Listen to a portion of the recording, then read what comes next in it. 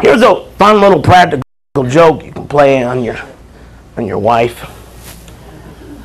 Play it on your girlfriend or your uh, boyfriend, but uh, works a lot better on your wife. What you do is you sneak in when she's sleeping about four o'clock in the morning.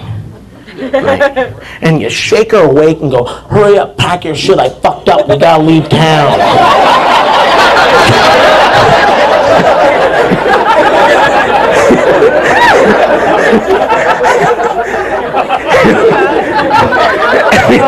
and to the beach, you just look over and go, see, you can dress quick.